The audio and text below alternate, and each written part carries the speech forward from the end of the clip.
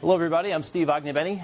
Uh, I signed up today to give a talk about .NET Core 2.1 in production, but unfortunately that talk is canceled, so we're going to do .NET Core 2.2 in production.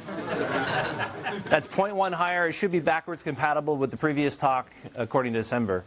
Uh, so I'm Steve Ognibene. I work for a company called Namely. I've been working with .NET since the basically the beginning, uh, SQL Server since the 90s, and I'm a Pluralsight author. And uh, I have a couple courses about TypeScript out there. You can find me on Twitter at mic.net.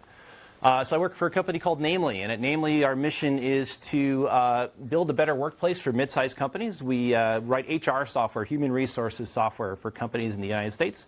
Uh, Namely was founded with a Rails app. Uh, that's our uh, forms the core of our main HR application today. We also have a payroll app, and that's ASP.NET Web Forms. So getting these two things to talk to each other is a bit of a challenge for us, and, and they are uh, what we like to call in the software world monoliths, which is to say that uh, they're very self-contained, right? Um, so uh, talking a little bit about scaling for startups. Uh, you hear a lot on the internet about how monoliths are bad. Monoliths are bad. Monoliths are really hard to scale. And that's true. And uh, you, you, hear a lot about, oh, well, you, what you should have instead of monoliths is service-oriented architecture, where everything is its own little service. And this is great, uh, but it, it's very expensive and it's very complicated. It adds a lot of complexity. Monoliths tend to be very simple. Right? They're, they're small, they're very self-contained. There's a lot of problems you don't have when you have a monolith. And the only thing that you don't get kind of get for free is uh, scaling. Uh, but I don't want to discourage anyone from using a monolith. I, what we found is that a really good way to start is with a monolith. And then when you start having customers, which means you start having traffic, do a monolith with more hardware. Throw hardware at the problem. Okay, this is the way that you advance a monolith, and it's actually important to do it this way because this means you actually have customers. The reason you're having scalability problems is because you have customers, and you could throw hardware at the problem, and that buys you time to start doing services. Okay, so start with a monolith, get customers from customers, use money from customers to build services. Right? Uh, so planning services for Namely. In mid-2016, Namely, we decided, okay, it seems like we have customers, we have a, a, business model, this is actually really working for us. Let's think about what we want the future of our applications to look like. So on the Namely side, we had Ruby on Rails, uh, ran on Linux in Docker containers on top of Kubernetes. We were actually very early on with Kubernetes. We guessed right, I think. Uh, so this is 2016 already, and those are running on top of AWS uh, EC2 instances. Uh, on the payroll side, we uh, had uh, C Sharp and VB.NET. Like I said, it's an ASP.NET Web Forms app uh, running on Windows on IIS and on EC2 instances as well. Uh, and so we started thinking, like, where's our future? What do we want to do? Like, what, is, what do we want the future to look like? Uh, and in coordination with our SRE teams, on the payroll side, we decided Linux and Docker and Kubernetes were good. But the thing we didn't want to do is convert all of our payroll code to Ruby. It didn't really feel right for the types of applications that we were writing, uh, lots of kind of financial calculations and things like that. Um, Ruby to this day, I look at it and I'm, i think to myself, how could this ever work? Um, but it works somehow. I mean, we do. We have really good software. I, it's just not for me, maybe. Uh, so we decided we wanted to uh, have our future stack be kind of whatever language the team that's writing the software wants to write it in. That's kind of fine on a short list of approved languages. Uh, but that underneath that, they'd all be running on Linux in Docker on Kubernetes supported by EC2. And I'm looking at my watch here uh, that doesn't exist because, I don't know, it's sort of old, old people do this, right? They look at their wrist. Um, so later on today, we're actually going to EKS, which is Amazon's hosted Kubernetes, and that's going to happen in like three hours. So it should be fun going to production with EKS and really, really soon. Um, so we, we had a question. So how do we write C Sharp on Linux? And this is a number of years ago. Uh, we had the choice basically of thinking about Mono because that was something that was out at that time. It did exist, um, but we were kind of old school Microsoft developers. We loved. Uh, if it didn't come from Microsoft, we were still kind of scared of it, right? This is pretty early days, and so we decided to go with .NET Core, which had been released and, and was on, I think, 1.0 at that time. Uh, so we had our uh, payroll web that talked to payroll DB. Uh, and in February 2017, we had a hackathon at work, and we created three brand new .NET Core Web API projects, and we called these services. Uh, and they ran on .NET Core 1.1. Uh, they were in Linux and Docker, which is great. Uh, we used the .NET new templates, uh, so all of them had a like, kind of a React front end and, and Web API back end, talking to SQL Server, uh, and none of them won the hackathon. So that was kind of sad. Um, but uh, the joke's on, I think the thing that won was some kind of like machine learning, AI, blockchain thing. I'm not really sure. Um, it's exciting for a hackathon, but it's not, it wasn't for us. It's not business worthy. Um, but the good news is actually this is successful because all three of these services are still in production this day and we followed them through the whole tool chain. So that was pretty exciting. Uh, so question though, I, I said services. are these really services? Um, it's a, if, if, you notice, it's, it's not really independent. It's still kind of talking to the payroll DB. Uh, and so we had this idea that services are going to allow us to scale infinitely. But it turns out that they're all still talking to the same relational database. And there's really only so big that you can scale a SQL server before you start to continue to have kind of scalability problems and blocking problems and contention problems and all sorts of stuff like that. Uh, so in terms of services, I would say, in fact, these are not services, even though we kind of use that term. What they really are is, I'm not sure if we invented this, I don't think we did, but it's, they're really BFFs, which is not best friends forever. Um, it is called backend for front end. Okay, so backend for front end is a captive backend that is specifically tied to a front end service, like something like React or whatever uh, on the client side. And this implements all the server side calls that are appropriate for that front end, and then talks to the database in the back end, right?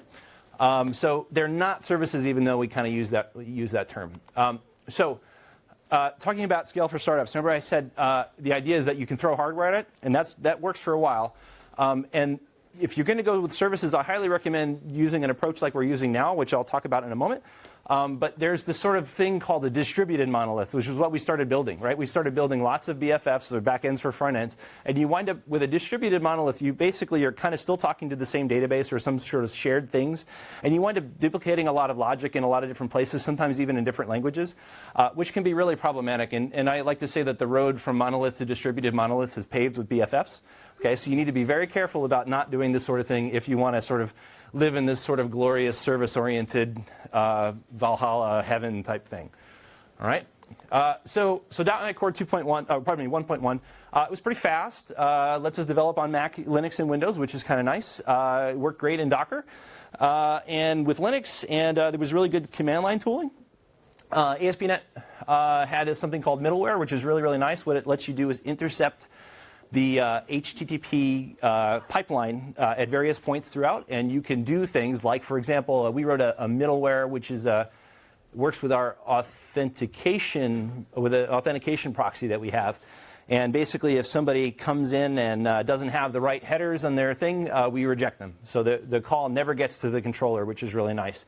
And we can decorate our controllers with various rules that are appropriate to our specific uh, authentication requirements and say like this particular controller requires this group and this group, or like this group or that group, that kind of thing. Uh, and it's really nice. We implemented that with middleware, and it's I don't know 100 lines of code, and, and we use it all over the place. It's really really nice. And the user, the, the people that are writing the end services don't have to think about it. They just decorate their methods, and all of a sudden everything's secure, which is really nice. Uh, and of course, it's open source, right? That's the reason why we are all here. And, uh, and .NET Core 2, uh, 1.1 was, was open source. Problem, lots of APIs were missing. We had to do crazy things like doing polyfills for .NET, right? That's something you would expect from JavaScript where there's not really a kind of core framework. And in .NET, it was just very, we were very allergic to it. You know, we didn't really like doing that. Uh, and the docs were wrong, and there was the whole project that JSON drama thing, and the tooling was bad. Like Visual Studio was, was not ready for it. You know, it was just problematic. So really, we found that .NET Core 1.1, while we got it to work and while we shipped it to production, was really for early adopters. So in August of 2017, .NET Core 2.0, yay! Visual Studio 15.3, yay! And .NET Standard 2, yay! Okay, this is all really good stuff. This is when .NET Core really became decent. Uh, so the APIs that we needed were back. They added 20,000 APIs. The docs were better. The tooling was better. It was really fast and stable. I'm going to talk about this in a minute. Uh, we had a little thing with Kubernetes. It was not a big deal. We figured it out. Um, the only thing that actually we were kind of sad about with .NET Core 2 was that it didn't didn't work right with the full framework until basically 471, which was three months later. Um, and it caused, because that was delayed, it caused us to, to, do all the work that we needed for Standard 2. And then we kind of got bored with it and didn't actually port it to our monolith. And so we then wound up supporting essentially two versions of the same thing for like a year and a half or whatever, which was kind of a drag. But anyway, we, we, we survived. Um, so when .NET Core 2.0 came out, uh, there was a blog post by Stephen Toub from Microsoft showing micro benchmarks. Micro benchmarks are benchmarks without context, right? So a really tiny thing. And so this particular one doesn't matter the code, but he's basically testing how fast enqueuing and dequeuing objects in a queue is. And um, uh, he, he advertised dozens of uh, speedups, between two and 10 times. That's pretty exciting as part of your core framework. Uh, now, the interesting thing, though, was not this blog post or even that .NET Core 2.0 was so much faster. It, the interesting thing to me was this follow-up by a guy named Andre uh, Akinshin, uh, who at the time worked for JetBrains. Uh, and he showed uh, the same blog post basically, but using something called benchmark.net. Uh, so this is a library that I recommend everybody check out and at least uh, sort of understand what it does. And I recommend just searching for the .NET Core 2.0 blog post uh, on the performance.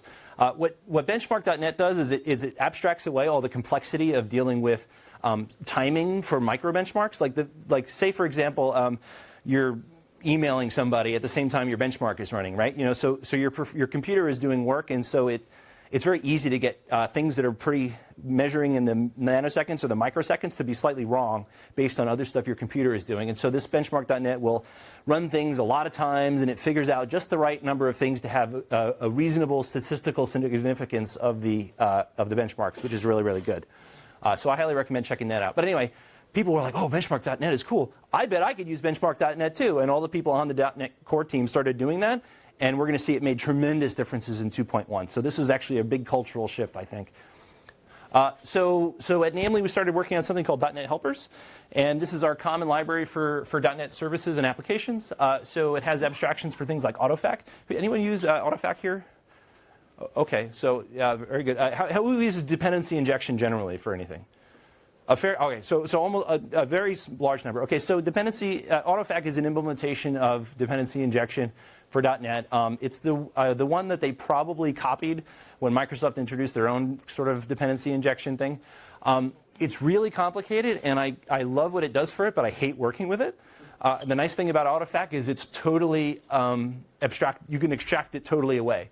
And I'll give you an example. So in .NET Helpers, we had the one. There's one guy at our at our whole company that knows how AutoFac works, right? So, so we had this one person write helpers for all the normal people, like, pardon me, I touched the microphone, all the normal people like me to use. Okay, so like an example, in the beginning of all our programs, we have a, a menu of all the things the program needs, and it uses .NET helpers, helper methods to abstract that away. As an example, uh, we're going to see here, all right, this application, this is in the beginning, like in the startup, it gets called by, uh, by startup. I'm going to add a Postgres DB connection factory. I'm going to add a payroll DB connection factory. I'm going to add a, a, reader and writer for the service database. I'm going to add a reader and writer for payroll DB. And that's it. One line to set all that stuff up. And the nice thing about it is when you set all the stuff up in the beginning and you have understanding of it, and by the way, each of these things are 100% covered, like ridiculously covered by tests. Um, and we, it means the application developer writing their service doesn't have to deal with all this low level nonsense that they don't care about. Um, that wasn't the laser. All this low level nonsense that they don't care about, right? Um, and uh, when I'm using it, I could just say, hey, I'm going to write a query class, and I want uh, an iDatabase reader, and the one that I want is the payroll DB one. And that's it. I don't have to deal with connection strings. I don't have to set my app, remember to set my application name in the connection string. That's all done up here so that the application name is in there. And so every .NET Core application we have sets that so we know which person to blame when the database server is having problems. Right? All that stuff is abstracted away. So we really like what AutoFac does for us, and we like using it because we don't have to deal with AutoFac directly. We just do it indirectly. Uh, we use Dapper, which is the Stack Overflow uh, interface for, uh, for iDatabase, uh, the, the iDatabase interface, which we really like a lot. Uh, we do testing with .NET helpers, we, which integrates some helpers for uh, XUnit, for NSubstitute. Um, we use Fluent assertions, which is a library that lets you do in your tests like you do the, uh, the uh, arrange and act, and then the assert phase is like some variable should be 5, and it lets you kind of write out the assertions in a prose in, in English uh, or whatever. Um, Uh, and uh, we have all of our uh, tooling uh, integrated with this as well. Uh, so Logzio, which is our Elk stack that we use. New Relic, which is a, a company that helps um, analyze performance and stuff like that. We use Datadog for graphs and charts and stuff uh, and Bugsnag. Uh, and all this comes to us for free, quote unquote, when we use data helpers in our, in our libraries. Uh, LN authentication, I talked about the middleware, and gRPC, which I'm going to talk about in a little bit. Anyone here use gRPC? Uh, five-ish, six-ish, okay. Cool. So with Net Standard, .NET helpers, it took us a while, but we finally got there. Now, my favorite kind of PR is we're deleting code from our monolith because all that stuff is implemented in .NET helpers. And even though it's it's written uh, .NET Core. We compile it to .NET Standard, and we can use it as a NuGet package in our ASP.NET Web Forms thing, and it lets us delete code, which is great because it was probably code that didn't have tests and stuff like that, and now it totally does, which is really nice. Uh, so protobufs. Okay, so remember how I said BFFs aren't really services, and and the problem is that you don't you deal with a concrete implementation that's meant for a specific front end.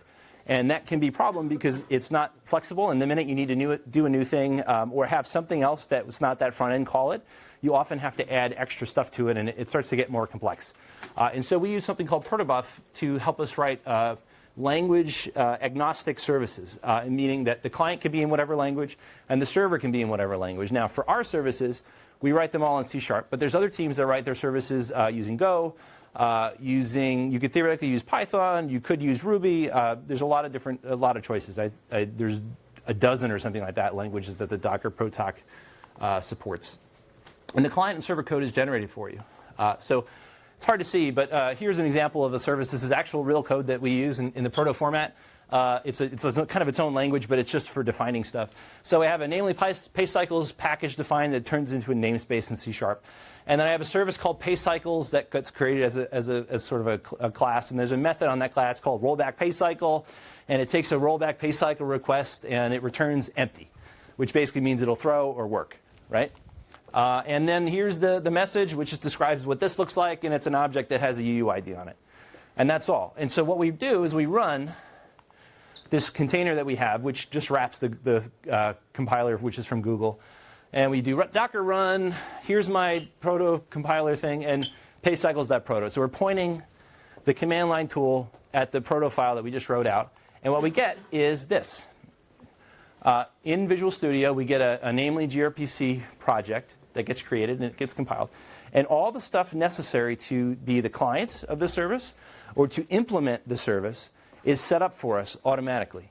Now, I got a question. Do you see on the side here, there's these sort of like red, what, prohibit signs? I don't know if that's the same sign in, in Europe or not. Anyone know what that means in Visual Studio if you see that next to a file? It means it's not checked into source control. It's, it's, it's intentionally ignored in source control. Why would we want to ignore these files? This is the core of our services. Any ideas? They're generated. Who checks in their DLLs to source control? Nobody. Oh, you do. Oh, I mean, there are certainly some, some scenarios. Like, don't get me wrong. Maybe for external dependencies, that's a thing that people do.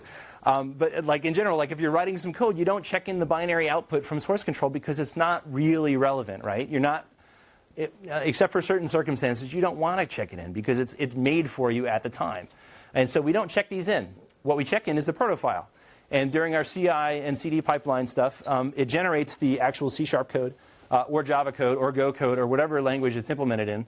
Um, and it makes these things for us. Uh, and here I'll tell you a little thing. I know this is a TypeScript room.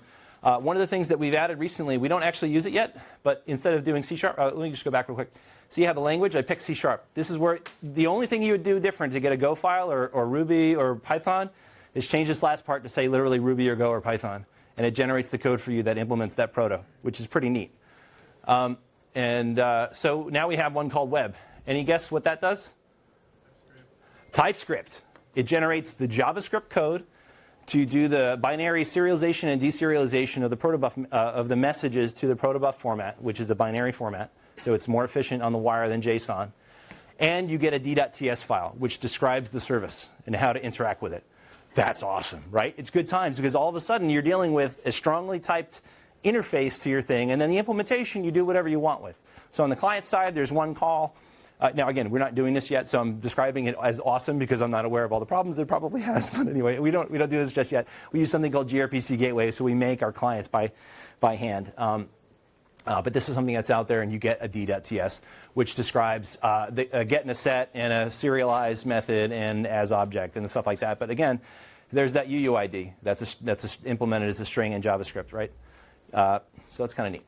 Uh, so in 2018, .NET Core 2.1 came out which is pretty cool. Uh, there was another performance blog post, this time based on benchmark.net. And again, they showed two and 10 times speedups on .NET Core 2. So that's amazing. We're already pretty fast, and we got even faster for a lot of different stuff. So the micro benchmarks are all over the place. That original blog post that came out after the .NET Core 2 blog post changed the culture on the .NET Core team. Uh, and they started chasing little, little improvements all throughout the framework. It made a real big difference in how fast .NET Core is, and we, as the users of .NET Core, all win based on that. Uh, oh, what did I do? Oh my goodness. Oh, it's back. Okay, great. Panic. Um, yeah, so we, we saw a lot of tweets like this. Guess where I upgraded my site to .NET Core yesterday? ASP.NET Core. Right? It's pretty amazing. Like the performance is really good. So I wanted to show you a real graph. Okay, so this is something we got out of Datadog. I, I exported this last summer. Uh, and here is uh, .NET Core 2.0 memory usage for a particular service, around, I don't know, 90-ish megabytes used. .NET Core 2.1, around, I don't know, 50, something like that, 55, right? pretty good. No, no code changes, just going to .NET Core 2.1 from 2.0.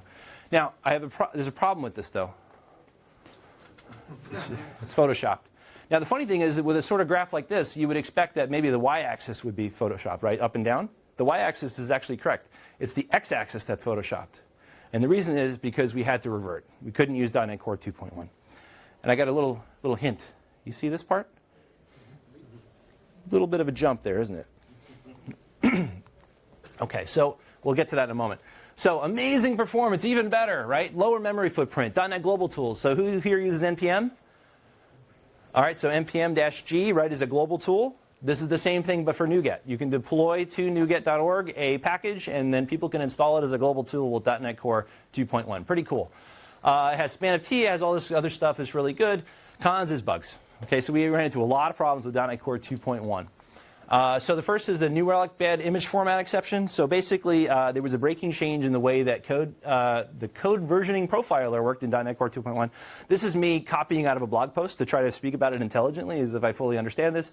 But the bottom line is that basically New Relic, which is a product that we use to analyze the performance of .NET Core, uh, they assumed the JIT would only happen once, and that was true uh, for a given piece of code. That was true for basically forever until .NET Core 2.1 came out.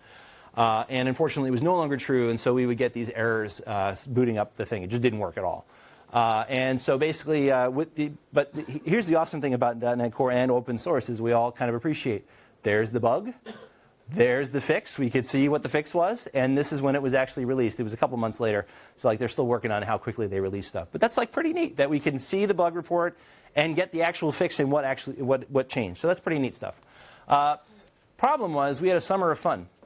So the .NET Core, there was a blog post that came out that said, hey, .NET Core is not going to be supported as, as of September. Meanwhile, the fix is due mid-August, which as we know, Microsoft always meets their deadlines for deploying stuff, right? Always. So, ah, panic, we're going to have a week to do this at best. Like if they make, if they make their deadline, we're going to have a week to fix and it's not going to be supported. I mean, it's like ridiculous. So we complained on Twitter, as we, as we like to do, and um, thankfully they listened. And uh, they released a new thing and they said, well, We'll give you an extra month. I like how it's like crossed out in the blog post. we'll give you an extra month. All right. So uh, let's see. Uh, we're going to have to cut this a little bit short. So there was a C- uh, there was a problem with performance. Remember how I said that thing was photoshopped? So here's our memory usage. It was going up a little bit and a little bit. This is .NET Core 2.1. Now we go back. We reverted. To, this is this is us rebooting, right? Because I don't know what's wrong. Reboot it. We'll see. What, let's see if it fixes it. Right? That was the laugh line. So I don't know what's wrong. Let's reboot it. Okay, so we rebooted it. Eh, it's still happening. Okay, revert. Now, straight, straight through. This is the CPU usage. This is actually a real graph. So basically none, right? So this is all just like I'm busy for no reason. And this is the actual traffic. So you can see it's completely uncorrelated with the traffic on this service, right? The CPU is just going bananas. Um, but memory was fine. Uh, and so it turned out there was a CPU leak. This is another pretty graph that somebody submitted. Uh, I don't think that's a real word, but basically there was stuff going on that was not real. Uh, and the, the, root cause wound up being that HTTP client, which is part of .NET Core, uh, or .NET also, implements iDisposable, but you should not dispose it. Okay, don't dispose it. Uh, there's a great blog post I love. You're using HTTP client wrong, and it's destabilizing your software. Like it's like one of the best titles I ever ever read for a blog. Uh, this is actually old, so this is even for net, net full framework. So you're probably, if you're using HTTP client and you're disposing it, you're probably having this problem today, and you just don't notice it because of uh, something that happened. Uh, basically, they, they wrote a new managed sockets implementation. Remember back to that performance thing? Oh, we can squeeze out an extra 10 milliseconds on this baby, yeah, or microseconds or whatever. Um, but unfortunately, it interacts very badly with this bug, and it causes horrendous CPU performance for nothing, basically. Uh, so the, the fix is Oh, you could do a static HTTP client, which is a lot what the guidance used to be, but the problem is in Kubernetes and other container orchestrator type things, if you ever have DNS changes, static HTTP client doesn't update your DNS. So you wind up all of a sudden having bugs whenever things change their name or IP address or whatever. Uh, so you have to use this new thing called HTTP Client Factory. And I, am not going to go through the code, but basically you set up a thing like, for example, GitHub. And then later you resolve GitHub and that's your client. Okay, and so behind the scenes, HTTP Client Factory will do all the DNS re-resolution things and, and whatnot, and this is the right way to do it. So do it this way, don't do it the other way, or you'll wind up with CPU problems if you're on 2.1 or higher .NET Core. Uh, we had another bug with oom kills out of memory, like Kubernetes was just like, nope, sorry, you're dead. Um, and basically, what was happening was that garbage collection was not happening soon enough, and so we were getting oom kills. And it turned out that in the fix, I, I love basically, whoa, whoops, we were using the wrong way to determine how much memory was being. So they were just using the wrong number to figure out when GC should go, and so they switched it to the right number, and that made it better. Except that, oops, we were still getting oom kills. And um, there's another issue out here, and there's still some talk about this. Uh, if you're using small containers, it's a problem. Um, so you don't have Kubernetes, a swap file in Kubernetes, and if you have a server GC turned on, this, this is sort of the mitigation you get one heap per processor. So what happens if you have a 48 core machine? All of a sudden, you're allocating multiple gigabytes of memory for a service that doesn't do that much, right? So you need to um, cut that back. Instead, you can actually use Workstation GC on your services running inside of Kubernetes, and that means you have one heap and it also tends to run garbage collection a lot more. And so this is a workaround because you don't wind up wasting a lot of uh, space and time doing something that's not actually useful. So it's something to consider using investigating workstation GC for your services if you're running .NET Core on Kubernetes. And basically, if you have low memory limits, this is today the only way to do it. So this is actually not. It's not, it's not that it's not fixed. It's just something to be aware of. They're probably going to do something about it at some point. Okay, so how we deploy .NET Core services. So we use GitHub. We deploy to Jenkins that does the build. We use CodeCov to check out what our test coverage is. Uh, we deploy our images that come out of Jenkins to something called Quay, which is a private repository for Docker images. Uh, we use something called Spinnaker, which comes out of um, uh, Netflix. Thank you. Uh, so uh, this that's what actually puts our stuff out into Kubernetes. Uh, so .NET Core 2.2 came out in December. Yay! Okay, we have some event tracing for Windows features. We have SQL access tokens for Azure Active Directory, code injection prior to main. Why not just change the code? Um, ARM32 on Windows, okay. Uh, so this is basically the most boring release of .NET Core. Um, you know, it's fine. It's 1.1 higher. That's fine. That's like this talk. So it's kind of boring. Um, anyway, just to wrap up, so .NET Core definitely works in production today. We are building our business around it. Uh, and, and it also works really nice with the protobuf stuff, so people can do other, other uh, languages as well. Uh, we, are really, really happy with that. Uh, it's good for services, good for command line tools, good for website backends. It works really well with Kubernetes, with the exception of the oom-kill thing. Uh, if you have big pods that don't have tight memory limits, it's really, really nice. It works very well. Uh, interoperates all of our other tech with gRPC, and it's super fast, and more or less the bugs are worked out now, or you know, hopefully we've run into it and we know how to work around it. Uh, so yeah, we're really happy, and we're continuing to invest in .NET Core, and uh, that's the talk. Thank you very much.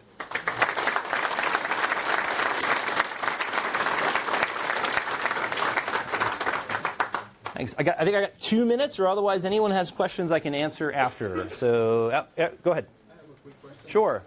Uh, what would be the effort today to move to .NET Core? So not like you move to 1.0. Yeah. Uh, well, I would hope. Yeah, I mean, uh, definitely the two things I mentioned, oom kills and and um, the HTTP client being really weird and, or different, requiring uh, HTTP client factory in 2.1. Those are the only things we're aware of.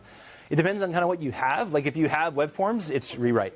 If you have MVC, it's close to rewrite. Uh, you know, uh, it really kind of de- depends. So I, I, highly recommend it for anything that's new. Check out .NET Core. You can see what you can do with the .NET Core, uh, .NET New templates or they're based in the Visual Studio if you like File New Project. Um, they work really well, and that's what we use uh, to do it. So, uh, anybody else? I got one more minute. Sure, what's up? Do you have any experience with uh, dynamic library loading in .NET Core? Um, it, I mean, we consume DLLs as part of like NuGet packages, but not at runtime. So no, is, are you aware of some, some challenges?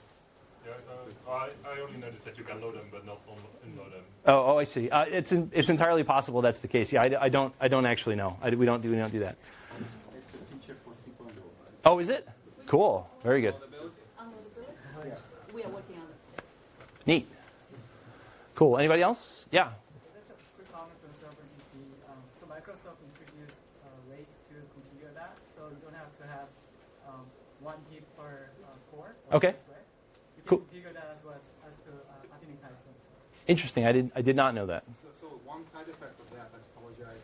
Sure. You, you, can specify how many heaps you want to have. Yeah. Have, whatever you see, and it will say, okay, two heaps per on even on 50 processors. Yeah. But there is still a different heuristic for uh, allocating GC heaps. Right. So workstation and server. Hi, you're rude.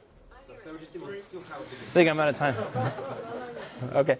Yeah, and we found. I I think it's like this is a shorthand way of, of working around it, where it will tend with Workstation GC it will tend to collect faster and keep a lower memory footprint overall. Server GC assumes that it's the only only person on the server, right? The only app on the server, and so it'll kind of use up memory until it runs out.